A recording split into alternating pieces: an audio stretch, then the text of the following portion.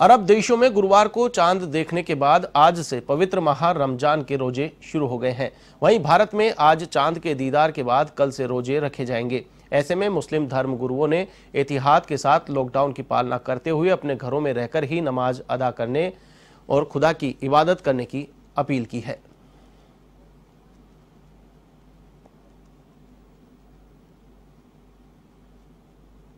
माह रमज़ान का शुरू हो रहा है। और आइए हम बात करते हैं। हमारे साथ आज मौजूद है लाडनू के चीफ शहर काजी सैयद मोहम्मद अयूब अशरफी साहब। रमज़ान माह के इस पवित्र माह में जो कोरोना महामारी का ये दौर भी साथ ही चल रहा है तो क्या संदेश, देश और लाडनू वासियों को देना देना चाहते हैं मौलाना साहब? आइए जानते हैं हम। सबसे पहले मौलाना साहब, आपका हमारे एवन टीवी में स्वागत है। शुक्रिया जजाकल्ला थैंक यू एवन टीवी के ज़रिए आप देश और लाडनू वासियों को, अपने मुस्लिम समाज व अन्य सभी को क्या संदेश देना चाहते हैं इस कोरोना महामारी के चलते इबादत के लिए? रमज़ान शरीफ इबादत का महीना, रहमत व बरकतों का महीना है। इस वक्त हम मस्जिदों में जमा न हों, बल्कि अलग अलग अपने घरों में नमाज़ पढ़ें। मस्जिद में सिर्फ़ और सिर्फ़ इमाम रहेगा और इनके नायब इमाम और मोहसिन रहेंगे। वो भी नमाज़ पढ़ें डिस्टेंस के साथ नमाज़ पढ़ेंगे। और घरों में जो लोग नमाज़ पढ़े, वो अपने अलग अलग डिस्टेंस के साथ नमाज़ पढ़े।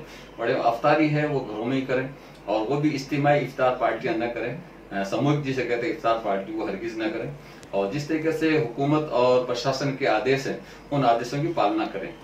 तो मौलाना साहब, जो सुबह शहरी के वक्त और शाम को इफ्तारी के वक्त जो मस्जिदों में ऐलान है, वो और जो अजान का है लाउड स्पीकर देना तो उसके बारे में क्या मेरी प्रशासन से बात हुई है अजान के लिए पाबंदी नहीं है, अजान देंगे माइक से, और शहरी अवतारी के अंदर भी ऐलान करेंगे, कोई ऐसी पाबंदी नहीं है। इसलिए अजान इसलिए होती है कि लोगों को पता चल जाएगा अजान से कि नमाज़ का वक्त हो गया। इसलिए प्रशासन और हुकूमत से कोई पाबंदी नहीं है। अजान तमाम मस्जिदों में अजान भी होगी और शहरी अवतारी का ऐलान भी होगा। तो ये थे हमारे साथ लाडनो चीफ शहर काजी मौलाना मोहम्मद अयूब अशरफी साहब, जिनका साफ़ तौर पे कहना है कि सभी लोग जो इस माह रमज़ान में अपने घरों पे रह के इबादत करें, घरों पे ही नमाज़ पढ़े, घरों पे ही तराबी पढ़े, किसी भी प्रकार से कानून की अवहेलना न करें। कैमरा पर्सन इरफान खान के साथ मोहम्मद अली खान। बुलेटिन में यहाँ पर वक्त चला